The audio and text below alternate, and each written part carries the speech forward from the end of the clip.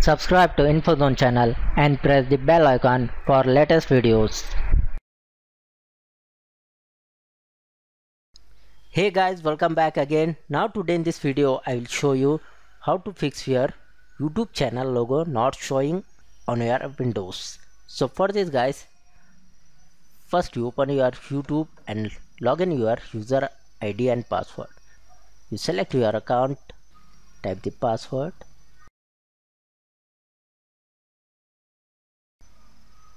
you go to your YouTube Studio Beta. Now you can see here guys your setting icon. You click on. Next you select the channel. Select the advanced settings. And see guys advanced channel settings. You click on. So you can see here guys your account information. You click on this change button. Click on edit click on upload photo and guys you select the location and select your logo picture. After click on open open and complete this process. So hope you like this video. Thanks for watching. Please like share and subscribe to my channel